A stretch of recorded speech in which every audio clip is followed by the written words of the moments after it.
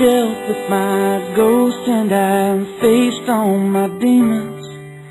Finally content with the past I regret.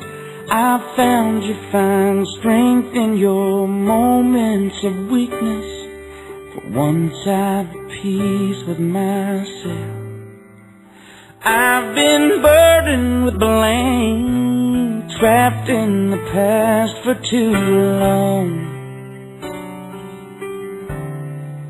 I